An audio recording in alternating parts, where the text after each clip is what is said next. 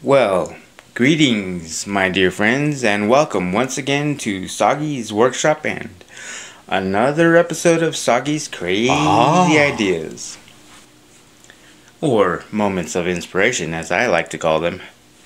Now, then, this video begins with a problem.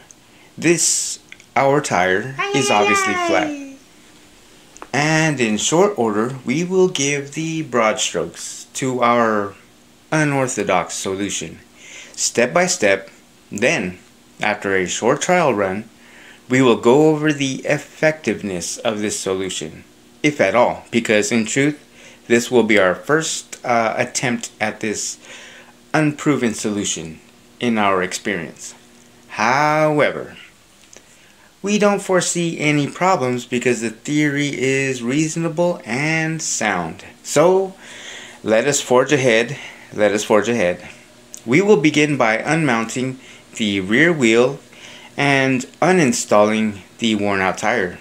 Carefully running our hands along the interior, we will remove the culprit, which in this case turned out to be a small bit of metal wire, which unfortunately I didn't uh, make any photographs of, so you don't have anything here to show you. Once we are clear, we will use a blade to remove these sidewalls from the treads. We found a convenient line to follow with our blade in this case. These sidewalls can be tossed back into the scrap pile for future projects. The remaining bald tread will serve as the new armor. Now we simply slip the armor into our new tire and sim sim a la bim.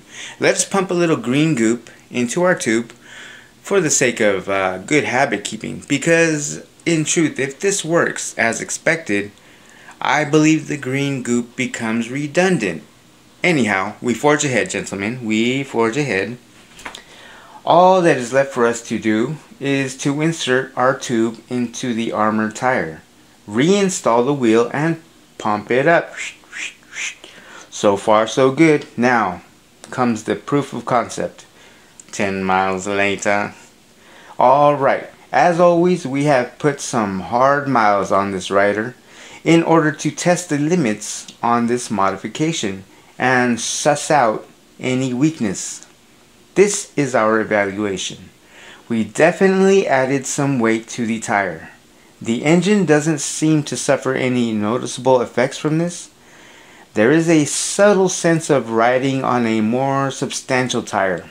It feels solid, which interestingly enough transmitted into an increased sense of confidence as we rode. As we all well know, these back tires and wheels suffer from an inordinate amount of abuse, not actually being built to be powered by anything other than a human body. They actually hold up quite well, considering all things considered. But in my experience, whenever there is a failure with the actual bike, it will involve the rear wheel.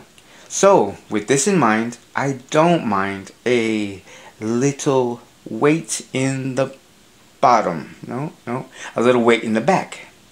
Right, fellas? Soggy?